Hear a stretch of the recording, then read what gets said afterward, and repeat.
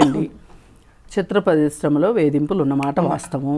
ఉన్నాయి కాబట్టే ఆ రోజు రెండు వేల పంతొమ్మిదిలో కాస్టింగ్ కౌచ్ విషయం వచ్చినప్పుడు ఒక కమిటీ వేయాలని ఉమెన్ అండ్ ట్రాన్స్జెండర్ సభ్యులందరం కలిసి డిమాండ్ చేశాం. డిమాండ్ చేస్తే వాళ్ళు వేయలేదు చిత్ర పరిశ్రమ అవును. గవర్నమెంట్ వేయలేదు చిత్ర పరిశ్రమ వాళ్ళకి అసలు వేసే ఉద్దేశమే లేదు. అయితే అప్పుడు కోర్టులో ఇంటర్వెన్షన్ తీసు అయ్యి పిటిషన్ వేసి కమిటీ వేయమని గవర్నమెంట్కి ఆదేశించింది కోర్టు. ఇంత చేస్తే కానీ వీళ్ళు కమిటీ వేయలే. ఆ కమిటీలో అందరు ఉన్నారు మా జేఏసీ సభ్యులు ఉన్నారు పోలీసులు ఉన్నారు గవర్నమెంట్ వాళ్ళు ఉన్నారు సినిమా వాళ్ళు ఉన్నారు ఉన్నా నేను ఉన్నాను అందరూ ఉన్నారు కదా? అది కమిటీ తర్వాత సబ్ కమిటీ ఒకటి వేశారు. ఇలాంటి అసలు committee report CS Somesh Kumar గారికి ఇచ్చారు ఆ రోజు. అవును. దాన్ని ఏం చేశారో తెలీదు. కోల్డ్ స్టోరేజ్లో ఎందుకు పెట్టారో తెలీదు. దాన్ని ఏం చెప్పారు మా వాళ్ళు?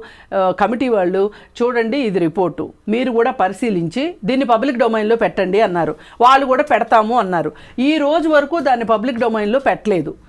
అసలు ఆ- ఆ కమిటీ అంత రిపోర్ట్ ఎందుకు రాసింది? అంత కష్టపడి అంతమంది కలిసి అసలు ఇక్కడ ఏం జరుగుతుందో తెలిస్తే ఆ కమిటీ రిపోర్ట్ అనేది ఏంటి? ఒక మెడికల్ రిపోర్ట్ లాంటిది. ఇప్పుడు మనం రేడియాలజిస్ట్ ఇప్పుడు హేమా కమిటీ కూడా చూసాం కదండి.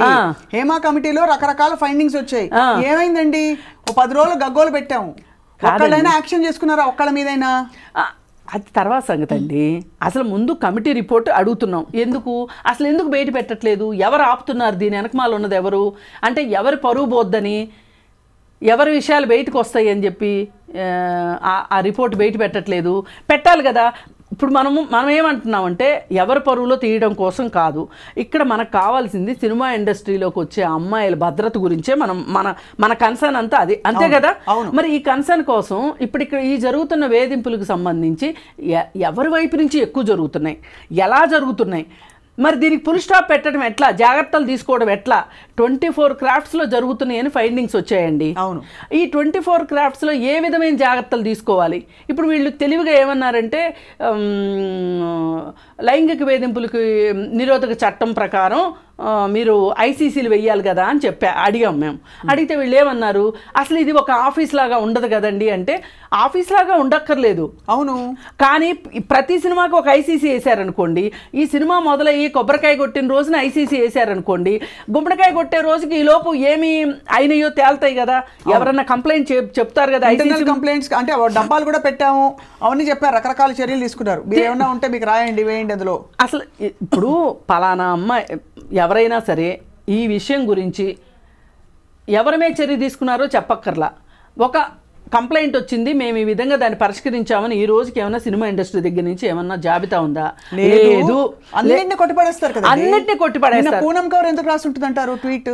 ఆ పూనం కౌర్ రాసిన దానికి నేను పూనం కౌర్కి జరగలేదు అనే మాట నేను అననండి. ఎందుకంటే ఎవరైనా ఒక మహిళ బయటకు వచ్చి చెప్పింది అంటే దానికి ఏదో ఒక రీజన్ ఉంటుంది ఏదో ఒక అంట్రెస్ట్ ఉంటుంది. అక్కడ అది లైంగిక వేధింపే అవ్వక్కర్లా. ఇప్పుడు వీళ్ళందరికీ మరి మెదళ్ళు అరికాళ్ళలో ఉంటే నేనేం చేయలేను కానీ అత్యాచారానికి కూడా అర్థాలు మారిపోయినాయి ఇవాళ. ఒకప్పుడు అత్యాచారం అంటే పెనట్రేషన్ జరిగితేనే అత్యాచారం అనేవాళ్ళు. ఇప్పుడు ఏమంటున్నారు లైంగిక వేధింపులు అంటే ఏంటి? ముప్పై సెకండ్ల పాటు ఒక మనిషి. ఒక మనిషి ఒక ఒక ఆడ మనిషిని చూస్తే కూడా తప్పు అంటున్నారు. ఆమెకి ఇష్టమైతే అది ఓకే. ఆమెకి ఇష్టం లేకుండా ముప్పై ముప్పై సెకండ్లు అంటే అర నిమిషం పాటు ఎవరిని చూడ కానీ చిట్టి గారు ఇప్పుడు ఏమంటున్నారు? రెండు వేల పంతొమ్మిదిలో ఎప్పుడో జరిగితే మైనర్గా ఉన్నప్పుడు.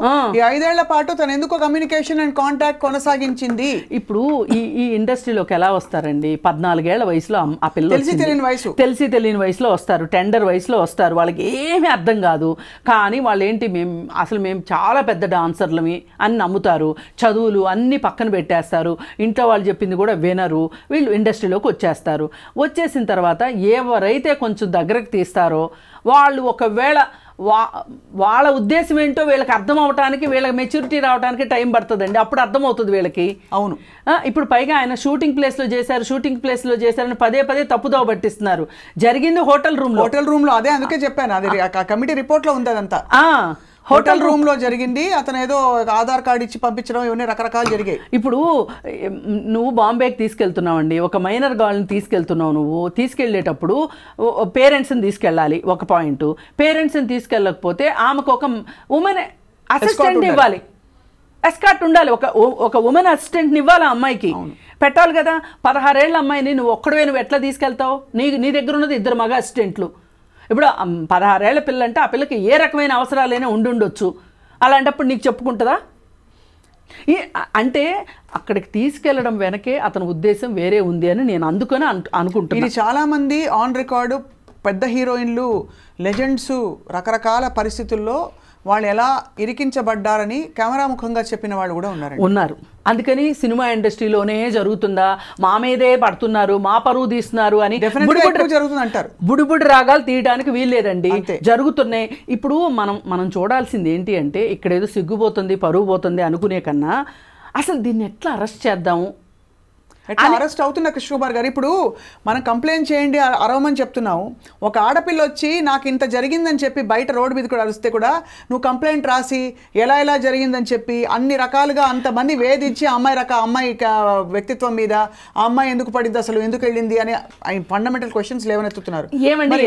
లేవనెత్తినా కంప్లైంట్ చేయాల్సిన అవసరం అయితే ఖచ్చితంగా ఉందండి. కంప్లైంట్ చేయాల్సిందే. ఇందులో అసలు రెండో మాట్లేదు కంప్లైంట్ చేయండి ఎలా తెలుస్తుందండి? ఇప్పుడు అడగందే అమ్మైనా పెట్టదు. అట్లాగే మీ మీరు చెప్పుకోవాల్సిన వాళ్ళ దగ్గర చెప్పుకోకపోతే మీకు న్యాయం ఎట్లా జరుగుతుంది? కానీ ఇక్కడ ఈ అమ్మాయి విషయంలో ఏంటంటే ఈ ఐదేళ్ళు ఆరేళ్ళు ఎలా ఊరుకుంది అనే దానికి నేను జస్టిఫికేషన్ చెప్తున్నా. ఆ అమ్మాయి ఈ ఇండస్ట్రీలో డాన్సర్గా ఉండిపోవ డాన్సర్గా రావాలి అని ఒక ఉద్దేశంతో వచ్చింది. వచ్చినప్పుడు ఈ అమ్మాయి నాకు బాంబేలో ఇలా జరిగింది అని చెప్పింది అనుకుందాం పోనీ. ఇంట్లో వాళ్ళు ఏమంటారు చెప్పండి? ఒక కాలేజీ పెళ్ళికి వెళ్ళే పిల్ల నాకు ఈవ్ టీచింగ్ జరిగింది అంటే ఇంట్లో కూర్చోమ్మా అంటారు. అందుకని చాలామంది ఆడపిల్లలు నెత్తి మీదకి సమస్యలు వచ్చిందాక చెప్పరు. అదే ఈ ఈ పాప దగ్గర మనం ఎందుకు వర్తించదండి? అదేమంటే జానీ మాస్టర్ ఇప్పుడు పెద్దోడు కానీ అప్పుడు చిన్నో అప్పుడు ఇంత పెద్దోడు కాదు కదా ఆ అమ్మాయి ఎందుకు చెప్పలేదు అంటే అప్పుడు ఈ పిల్ల ఇంకా చిన్నపిల్ల కదా. అదే. ఇప్పుడంటే ఇరవై ఒక్కేళ్ళు అప్పుడు పదహారేళ్ళే కదా. పదహారేళ్ళ పిల్ల బయటకు వచ్చి అసలు ఇలా జరిగిందని చెప్పుకోవడానికి చాలా భయాలు ఉంటాయి చాలా భయాలు ఉంటాయి పైగా ఇంకొకటి ఏంటంటే నిన్న మా సంధ్య కూడా చెప్పారు ఆవిడే దగ్గర పెట్టుకొని ద- దగ్గరగా తీసుకొని ఉమెన్ కమిషన్ దగ్గరికి వెళ్ళారు.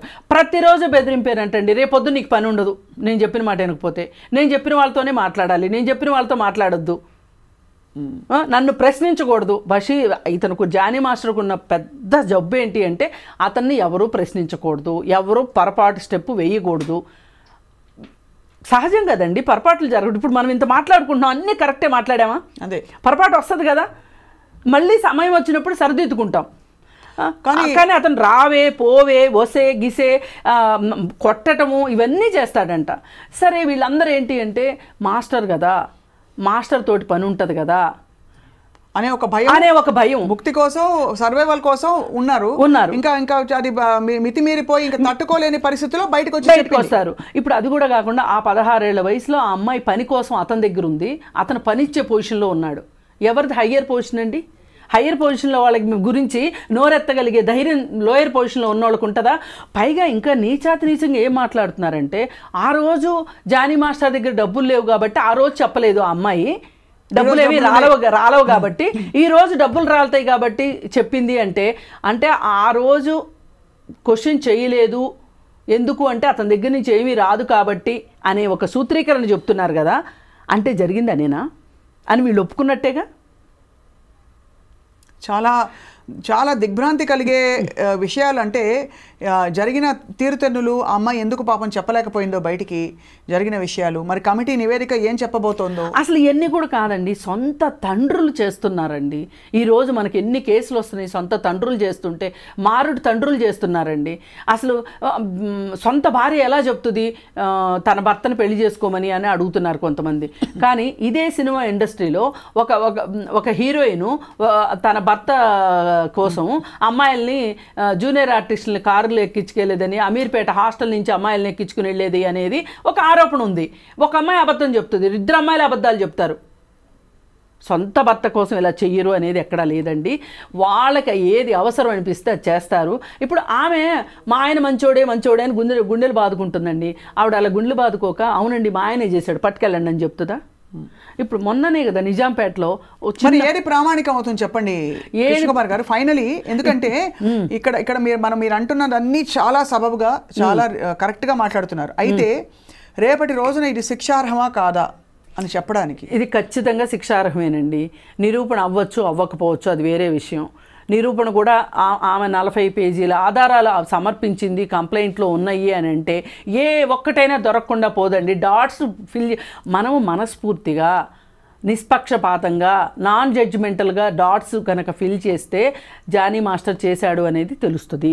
రైట్ అయితే ఇప్పుడు పదహారు సంవత్సరాల వయసులో చేశాడు కాబట్టి అది పోక్సో కేసు పెట్టాలి అని చెప్పి నేను మొదటిసారిగా మాట్లాడా. వీళ్ళందరూ ఏంటంటే అసలు వయసు చెప్పడానికి ఎవరు ఇష్టపడలా. అవును మొదటి రోజు. కానీ ఈ- అమ్మాయి పద్నాలుగేళ్ళ వయసులో డీలోకి వచ్చింది. ఆ, తర్వాత రెండు సంవత్సరాలకి ఇతనే కబురు పెట్టాడు మా టీంలోకి రమ్మని చెప్పి. అంటే అప్పుడు అమ్మాయికి పదహారేళ్ళు. రెండు వేల పంతొమ్మిదో సంవత్సరంలో ఆ అమ్మాయికి పదహారేళ్ళు ఉంటేనే ఇప్పుడు ఇరవై ఒక్కేళ్ళు ఉంటాయి. ఈ లెక్క ఈ లెక్కను నేను అతని మీద పోక్సో కేసు పెట్టాలి అని చెప్పి అనిన తర్వాత ఫస్ట్ రోజు వాళ్ళు పోక్సో పెట్టలా. స్టేషన్ వాళ్ళు. కానీ తర్వాత పోక్సో పెట్టారు. సరే ఇప్పుడు దానికి ఏం చెప్తారు సమాధానం? పోక్సో కేసు ఎప్పుడైనా జీవితంలో చెప్పొచ్చండి ఏ వేధింపులకైనా. మీరు చూడండి హాలీవుడ్లో ఒక అరవై ఐదు డెబ్బై ఐదు సంవత్సరాల డైరెక్టర్ మీద ఒక నలభై ఐదు సంవత్సరాల హీరోయిన్ కేసు పెట్టింది మీటూ ఉద్యమం. అప్పుడు గుర్తుందా? గుర్తుంది. ఇప్పుడు అక్బర్ అని ఒక జర్నలిస్ట్ మీద కేసు పెట్టలేదా? నానాపట్టి ఎంజే అక్బర్. అక్బర్ మీద. నానా పటేకర్ మీద పెట్టలేదా? ఎప్ప ఎప్పటి వేధింపులు అవి ఇప్పుడు మన చిన్మయి శ్రీపాద్ చెప్పలేదా? తన చిన్నప్పుడు జరిగింది చెప్పలేదా? అవును. ఆమె జీవితం ఎంత నాశనం చేశారు వీళ్ళందరూ కలిసి? ఆమె కెరీర్ లేకుండా చేశారు కదా? ఇప్పుడు అందుకే ఇప్పుడు మన రాధిక ఏం చెప్పారు? నా క్యారవాన్లో సీక్రెట్ కెమెరాలు పెట్టారు. అది అది నేను చెప్పదలుచుకోలేదు. ఎందుకు అంటే దాన్ని కంప్లైంట్ ఇవ్వదలుచుకోలేదు. ఎందుకంటే నేను ట్రబుల్ మేకర్ అనే ముద్ర పట్టడం నాకు ఇష్టం లేదు అంది. అంటే అంటే ఒక ట్రబుల్ మేకర్ అనే ముద్ర పడింది అంటే వాళ్ళకి అవకాశాలు రావండి. ఇక ఆ రోజుతో వాళ్ళ కెరీర్ కట్ ఆఫ్ అనుకుంటేనే నోరెత్తాలి. అన్నీ తెలుసు. ఇప్పుడు ఎవరెవరో ఎవరెవరికో వకాల్తాలు పుచ్చుకుంటున్నారని ఆయన మాట్లాడుతున్నారు కదా. ఫస్ట్ ఈయనే వకాల్తా పుచ్చుకున్నాడని నా నమ్మకం. అందుకే ఇలా మాట్లాడుతున్నారని నేను అంటాను. ఆయన ఏమన్నా అనుకోనివ్వండి. ఆయన అయితే జానీ మాస్టర్ వైపు ఒకాల్తా పుచ్చుకున్నాడు జానీ మాస్టర్ వైపు ఒకాల్తా పుచ్చుకోవడానికి ఆయన ఆయనకున్న కారణాలు ఏంటో నేను చెప్పాల్సిన అవసరం లేదు.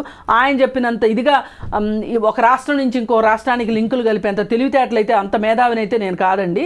కానీ ఈ ఈయన జానీ మాస్టర్ని వెనకేసుకు రావటం వెనకమాల ఇక్కడ హైదరాబాద్లో ఉన్న సీనియర్ సినిమా యాక్టర్లు ప్రోద్బలం అయితే ఖచ్చితంగా ఉంది. ఒకటండి మన అమ్మాయికి జరిగితే మనకు తెలుస్తుంది. మనకు జరిగితే మనకు తెలుస్తుంది. ఎవరమ్మ చచ్చిపోతే వాళ్ళు ఏడుస్తారండి. పక్కోళ్ళు ఎందుకు ఏడుస్తారు చెప్పండి? చాలా దురదృష్టకరం చాలా దురదృష్టం అండి. ఆ అమ్మాయిని ఇప్పుడు- అసలు డబ్బుల కోసం కేసు పెట్టింది అని అనటం అనేది నాకు చాలా బాధగా- కృష్ణకుమార్ గారు ఉన్న మాట చెప్తున్నాను. ఏ ఆడపిల్ల ఏ మహిళ ఏ స్త్రీ బయటికి వెళ్ళి ఏం మాట్లాడినా వంద మంది వంద రకాల బురదలు వేస్తారు. మళ్ళీ అక్కడ కూడా ఈ ఇది పో ఈ పోరాటం ఓవైపు జరిగిన విషయానికి ఈ కొత్త పోరాటాలు పోరాడలేక రేపటి నుంచి ఉపాధి ఉండదండి వాళ్ళకి. అదే కొత్త కొత్త ఇప్పుడు పోరాటాలు. ఏమంటారు తెలుసా? అల్లు అర్జున్ ముందుకు రావడం చాలా గొప్ప గొప్ప విషయం అది. ఏమంటారండి? ఇప్పుడు ఒకటండి అల్లు అర్జున్ బయటకు వచ్చినప్పుడు అల్లు అర్జున్కి కావాల్సిన మేల్ పర్సన్స్ ఇట్లాంటివి చేసినప్పుడు కూడా అతను బయటికి రావాలి. ఎవరైనా సరే ఇప్పుడు బాధితుల పక్షాన ఉండాలండి.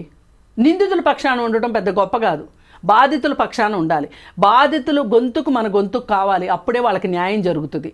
ఇప్పుడు ఇప్పుడు నేను సినిమా ఇండస్ట్రీని కూడా కోరుకునేది ఏంటంటే నిస్ నిష్పక్షపాతంగా ఈ రోజుకైనా ఆ నివేదికను బయటికి తీయండి దుమ్ము దులపండి చూడండి అసలు ఎక్కడే ఉందో తెలుసుకోండి. ఇదేదో మేడిపండు మెరుస్తుంది అనుకోవటం కాదు. పొట్ట విప్పి చూడండి. పురుగులు ఎన్ని ఉన్నాయో మంచి ఉందో చెడే ఉందో చూడండి. ఇప్పుడు వీళ్ళకి ఆడిషన్స్ దగ్గర నుంచి మొదలైపోద్దండి వీళ్ళ మీద దోపిడీ. అయిపోయిన తర్వాత వాళ్ళకి వేషం ఇచ్చిన దగ్గర వాళ్ళకి రెమ్యునరేషన్ ఫిక్స్ చేసిన దగ్గర ఫిక్స్ అయిన రెమ్యునరేషన్ తిరిగి ఇచ్చే దగ్గర మళ్ళీ ఇంకో సినిమా తీసుకునే దగ్గర. ఐదు చోట్ల వేధింపులు జరుగుతున్నాయి వాళ్ళ మీద. అవును. మరి ఈ ఇలాంటి ఇంకా గమ్మత్తు. మగవాళ్ళ మీద కూడా వేధింపులు జరుగుతున్నాయి. నేనేం కేవలం. ఆడవాళ్ళకే జరుగుతున్నాయని నేను. అంటే బలహీనులు బలవంతులు ఇక్కడ అంతే. అంతే, is కానీ right. బై ఎక్కువగా ఎక్కువగా మనకి ఆడవాళ్ళ బలహీనుల పొజిషన్లో కనిపిస్తున్నారు కాబట్టి ఇంత అంత అభ్యున్నతి అంత సమానత్వం లేదు కాబట్టి కాబట్టి. మనం ఇవిలా మాట్లాడాల్సి వస్తుంది కృష్ణకుమార్ గారు ఖచ్చితంగా మీరు అన్న పాయింట్ రైటేనండి ఇది నిష్పక్షపాతంగా మనసు పెట్టి దీన్ని పరిశీలించి సత్వర న్యాయం చేయాలి. బాధితులకి. అలాగే ఇవ్వవలసిన సందేశం కూడా పప్పులు ఉడకవు ఇంకా ఎటువంటి ఇబ్బందులు వచ్చినా కూడా ఆ, పోరాడం ఆ, పోరాడడం మన ధర్మం మన బాధ్యత అని చెప్పి ఆ మెసేజ్ని స్పష్టంగా ఇవ్వాలండి. Thank you so much ma'am. చాలా మనసు పెట్టి మాట్లాడారు. ధన్యవాదాలు. నమస్కారం అండి.